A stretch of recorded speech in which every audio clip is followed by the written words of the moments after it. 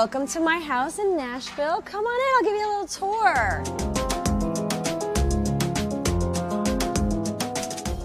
Actress Melissa Joan Hart rose to fame off the back of her 90s Nickelodeon sitcom Clarissa Explains It All. Afterwards, she became even more well known for her portrayal of Sabrina the Teenage Witch on the television series of the same name that produced 163 episodes in total. In these videos, we don't reveal any addresses, and even though I've done a house tour of my own place, please do not show up at any private residences because it's not safe for anyone. I mean, even me, I was a major fan of that one. And while Melissa is best best known for these iconic 90s characters, her most important role these days is as a mother to her three sons and a partner to her husband Mark Wilkerson, the lead singer and guitarist of the rock band Course of Nature. For a number of years, this happy family has split their time between two main addresses, one in Connecticut and another in California. For the most part, Melissa has been pretty quiet about her home that's located out east. But what I can tell you about it is that it's extremely traditional. When discussing this home in the past, Melissa has played coy in terms of its exact location, but has revealed that it's situated in a town that has a lot of farmland and open space. She also once explained to Architectural Digest that the majority of the home was painted white by her friend Lonni Paul, who designed the interior of the home. In fact, Melissa was so pleased with the job, she then hired Lonni to decorate the interior of her Los Angeles home, located in the neighborhood of Studio City and situated right across the street from where she's occasionally worked in the past at CBS Studios. Unlike her home out east, there's a lot more to discover about Melissa's longtime property in LA. With her friend's help, Melissa transformed the inside of this modern cottage with colors of light blue, white, and gray. In fact,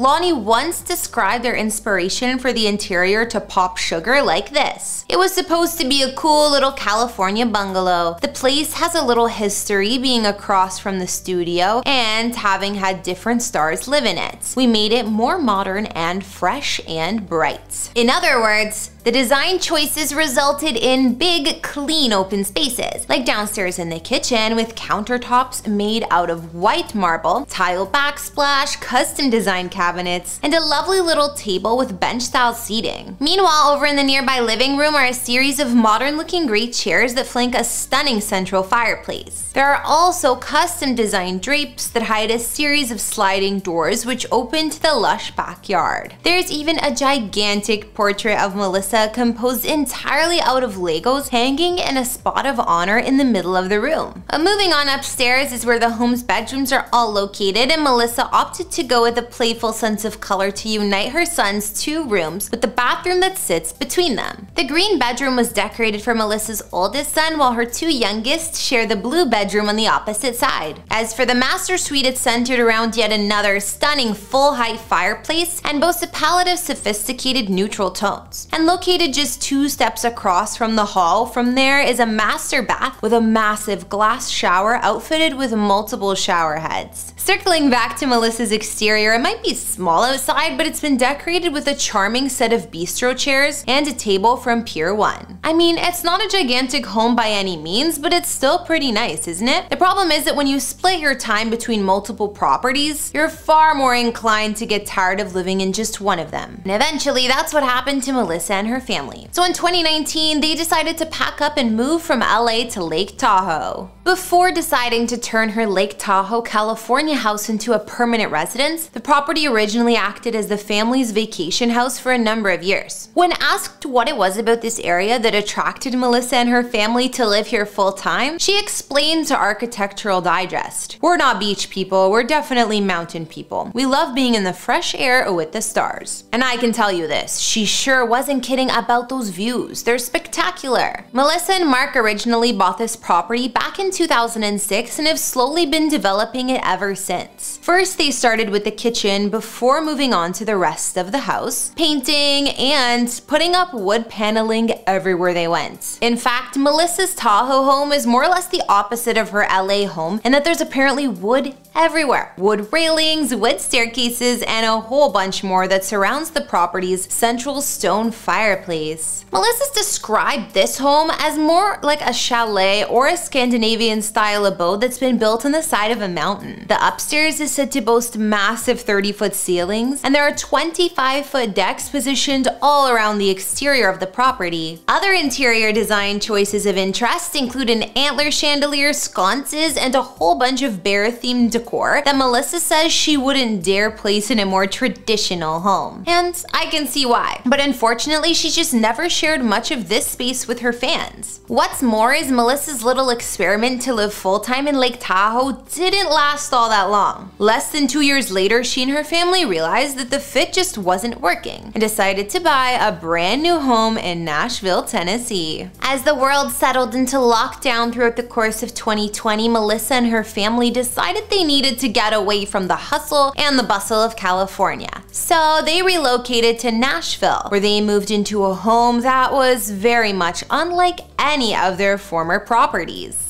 Let's kick things off with the home's courtyard. Set behind an intricately designed iron gate, this cute little section of Melissa's home even includes an eye-catching fountain in the middle of it. Melissa and Mark originally fell in love with the property thanks to its unique mix of details, like its church lights and doors contrasted against more modern light fixtures. But if we're talking about unique, then what we really need to start with is Melissa's one-of-a-kind living room. The bones of this massive open space have been constructed out of pillars from India and a roof barn that was imported from the state of Alabama. Not to mention a multi-layered chandelier that is big as it is, and it's big, looks relatively tiny in regards to the grandeur of the whole room itself. A short walk from the living room takes you to the kitchen table where the family enjoys the majority of their meals around a circular table with another low-hanging light wrapped in a piece of dripped wood. When you're finally ready to transition from the main floor to the top, you'll have to go through the home's mammoth central staircase.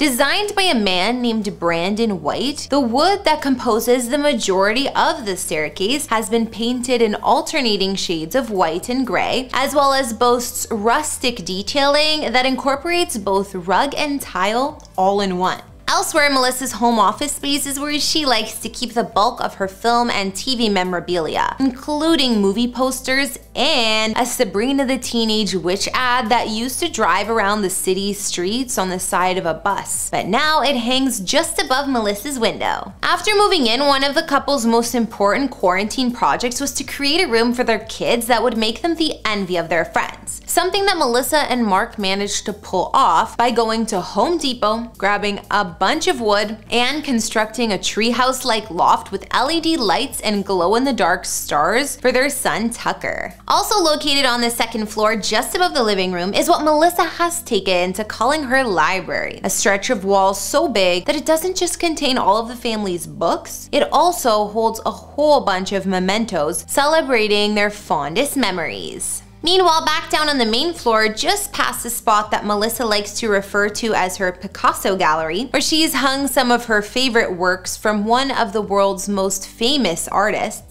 is her master bedroom. Not only does this space contain an elegant king-size bed, along with some epic French doors that lead out towards the backyard, it's also where Melissa keeps her treasure chest. A cubby which contains some of her most prized jewelry and her most heartfelt childhood memories, including her grandmother's music box. And just around the corner from there is Melissa's walk-in closet that she keeps as neat as possible. As enticing as Melissa's entire home appears to be, the one room with the most energy is her downstairs powder room that she likes to refer to as her pink bathroom. Something that comes across like a mixture of country and punk. According to Melissa, her family inherited the bathroom looking that way and decided not to mess with the vibe. But when it came time to construct a room that was wholly her own, Melissa called dibs on the dining room. What makes this place so special to Melissa is that as someone who lives with four boys, this is the one space in the house where she gets to be her most girly self. That being said, as much as she likes the dining room, Melissa doesn't care to spend all that much time in the kitchen, and she lets Mark take care of most of the cooking. Melissa doesn't mind being on cleanup duty though, and for that they installed a golden sink and made sure there was a lot of countertop space to work with. Last but not least, we've arrived at Melissa's backyard, a space where Melissa and her family spend a lot of their free time. Believe it or not, but this is actually the first time that Melissa's kids have ever lived in a house with a pool. Now that we've seen Melissa's brand new Nashville home, I think the question becomes, how long will she and her family actually live here? Based upon their multiple properties and how often they move from one to the